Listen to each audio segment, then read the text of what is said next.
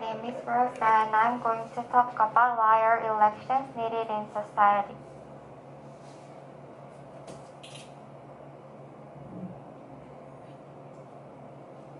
Contents. First, I'm going to talk about what is an election.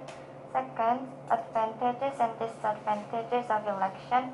Third, Korea's election history. Fourth, why are elections needed in society? And last, if there is no election. What is an election?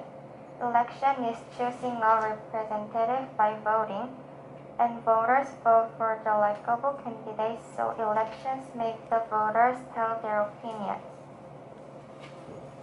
Advantages and disadvantages of election.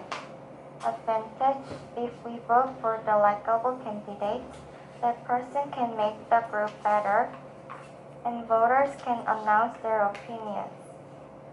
However, it costs a lot of money for the election campaign, and not all candidates are good to lead the society.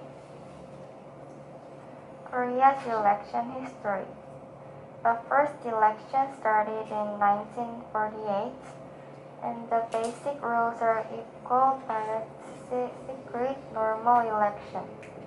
And there were three presidents who did not go out of their places, so the citizens stood up themselves, but the government blocked them violently, so many people died.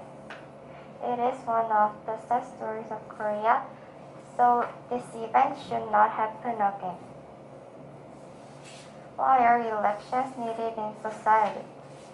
We, today we live together, so it is hard to choose something equally. So if we use elections, it is easier to choose something. And the society will become better if we vote for a likable candidate. If there is no election, if there is no election, the society will be confused because there is no leader of the group. And we cannot choose something for the groups, and we cannot solve the problems of the society easily. So the society needs election. Thank you.